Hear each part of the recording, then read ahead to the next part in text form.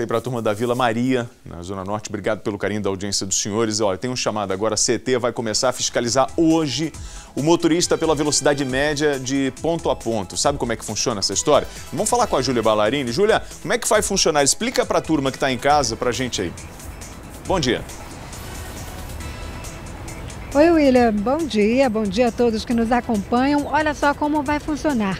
Quando o motorista passar pelo primeiro radar, vão ficar registrados no equipamento a velocidade e o horário.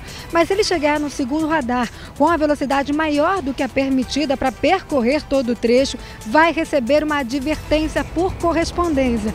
Mas por enquanto, essa é uma medida ainda de forma preventiva e educativa. Mas os motoristas já podem ficar atentos, porque os equipamentos vão estar nas seguintes avenidas: na 23 de maio, Jaco Pêssego, Bandeirantes e também no trecho da Marginal Tietê nos dois sentidos, William.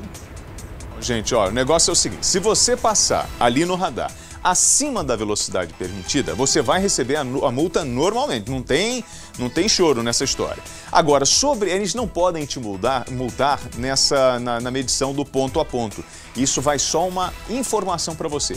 Mas esse essas informações chegam, que vão chegar para a CET, vão ajudar muito a gente a entender o que está acontecendo em São Paulo, que a gente já sabe o que, que é. Sabe o que, que é, Julia? Você tem lá uh, o limitador de velocidade em 50. Quando chega ali no radar, no pardal, enfim, a turma tira o pé.